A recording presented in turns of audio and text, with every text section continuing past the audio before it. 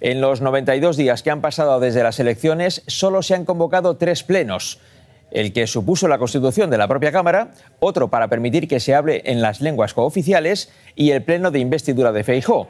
Tres plenos en 92 días, ninguno de ellos para discutir los asuntos de actualidad. Y no ha habido sesiones de control al Gobierno ni comparecencias del presidente para informar sobre las cumbres europeas.